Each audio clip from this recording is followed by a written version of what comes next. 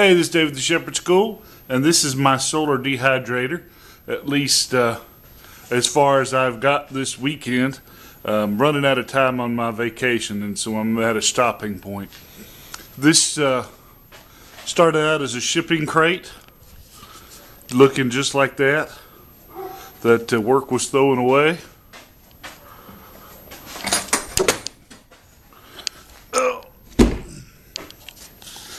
And uh, the way it works is my glass broke as I was trying to cut it, so I'm going to get somebody to cut it. But this trough here is going to have glass in it.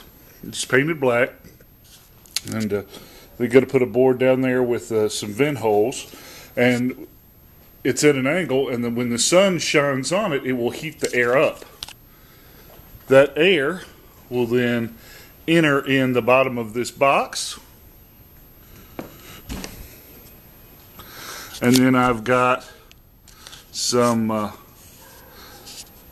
supports here that I'll have some trays that are made out of, uh, you know, window screen basically.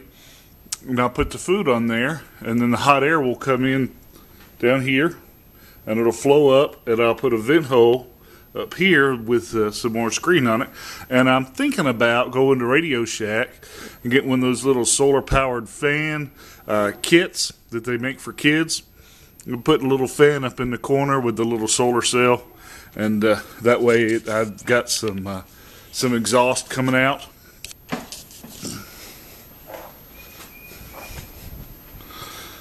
So that's really all there is to it. I'm going to paint it and uh, figure out something to put on the roof there so it doesn't uh, doesn't uh, pool up, puddle up water.